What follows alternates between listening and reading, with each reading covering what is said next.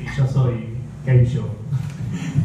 ahora, ahora voy a venir. No, no, sí. Eh, esto por ahí queda medio ansioso, pero tuve que investigar mucho para esta novela.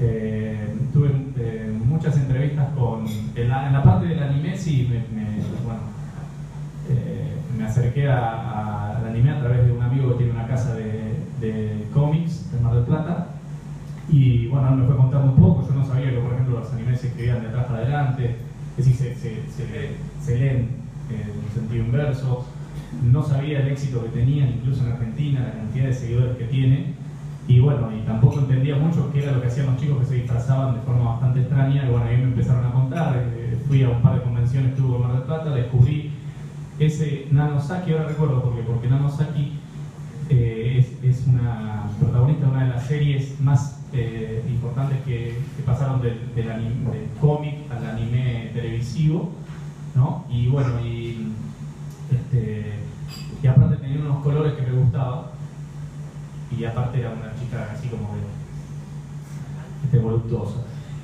Bueno, en la parte esa del anime y también me, usé mucho internet.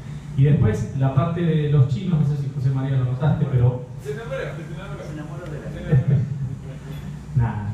Y en la parte... La fantasía. No, y, después en la parte de los chinos yo tuve un problema, yo soy bastante... Me meto en muchos problemas al momento de, escribir ficción también. Eh, como que lo hago muy complejo todo y después me doy cuenta que es demasiado para mí, mi capacidad de resolver los, problemas que yo mismo me, causo.